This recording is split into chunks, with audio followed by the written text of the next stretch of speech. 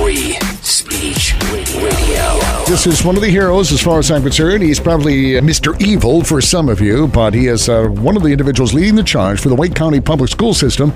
John Tedesco, Wake County School Board member. They've used race. They've uh, kind of used accreditation. Now the federal government's coming after you guys. I mean, they're using race and fear. How do you feel about that? Well, I mean, we expected the opposition to do what they could to try and divide us as a community and strike fear across the community. They've tried you know, claiming everything that from we were going to be anti-teacher or we were going to be classist or we were going to be racist or whatever the case may be. And and the truth is, we've accomplished a great deal in the last year and a half, and we've proved just the opposite. In less than uh, two years, we've showed our priorities. Uh, we've increased performance and placement for minority students in some of our advanced, most rigorous courses. We've reduced suspensions across the district, making our schools safer. We trimmed well, 22 million last year, 88 million in this upcoming budget for a combined 100 million dollars. And we did it all without cutting a single teacher because we're protecting our teachers, we're protecting our classrooms. We trimmed administrative fat to do it. And and what's what they're most afraid of, I believe, the opposite, the opposition is most afraid is that we're going to show that conservative leadership can make public education successful once again. I think you might be right about that. Have you ever sat down and I, I know you've made an attempt with Reverend Barber, and you also have uh, the Greater Schools and Wake Coalition. I think that's Yvonne and uh, Raleigh Fist. I'm not too familiar with, but these are individuals that have been pretty vocal and have attacked the school board every which way. Have you ever sat down and just had a conversation? Said, "Here, here's our data. Take a look at it."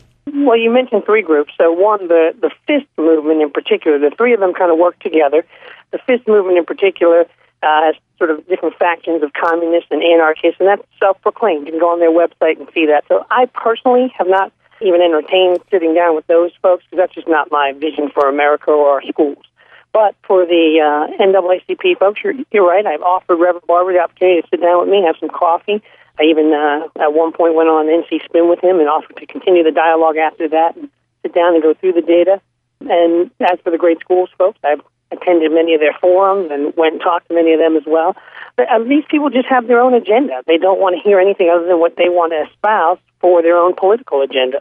Now, what is that agenda, though? I mean, I, I thought everybody loved kids. I thought, John, everybody wanted the best for kids. Obviously, I'm beginning to question a little bit. So, what what is their end game? Well, I mean, I think a lot of this has to do with, you know, politics, unfortunately. And quite frankly, they know right now we have an election coming up. They've already started trainings uh, there's five of the nine board member seats that are up. Mr. Margiotta, the lone conservative, and then the four Democrats who are on our board are up. And they believe that if they could win five seats, as they put it in the title of their recent training, they can take back our schools. To, to some extent, I I laugh at that because I mean they've had the schools for 30 years.